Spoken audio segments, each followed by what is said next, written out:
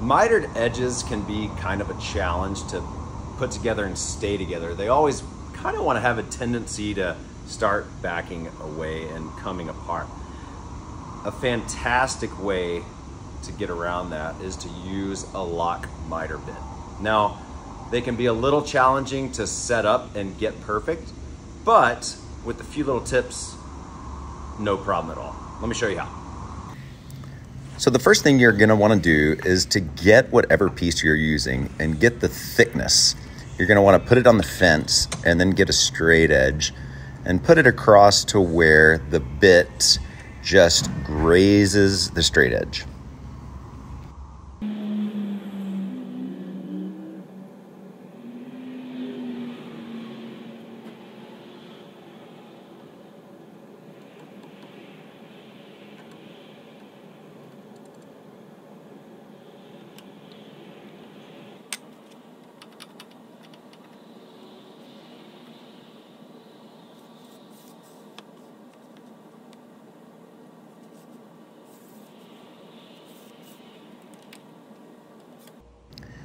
So when you have that nice and set up, you're gonna wanna send one piece through as your test piece.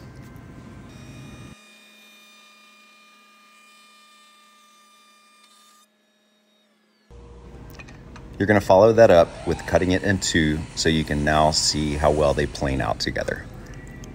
All right, I have my two pieces. So whenever I lock these together this way, do you notice that one lip right there is just a little bit proud? So that means you need to raise the bit slightly. Now it might take a few passes, a few trial and error moments, but if you slightly adjust that, that should take care of that. Now if it's just the opposite, if it's just if it's just a little shy, then you're gonna need to lower that. So anyways, let's try it out. Now that you raise the bit, you are gonna have to readjust the fence to make that bit just kiss the straight edge one more time.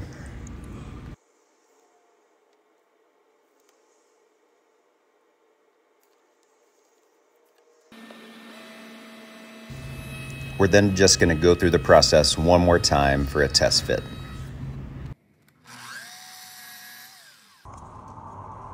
Okay, round two on the pieces. So if you put these together, look at the end there, and you can see that those flush out perfectly.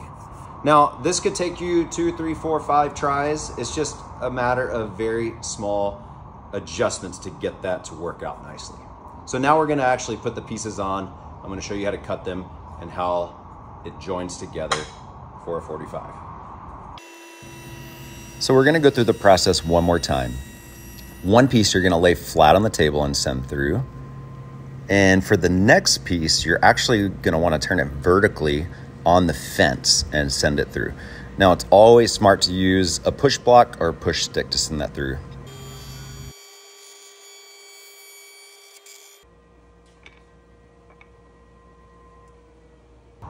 Okay, so we have our two pieces. And now, when you lock them together, makes for the perfect 45 lock miter.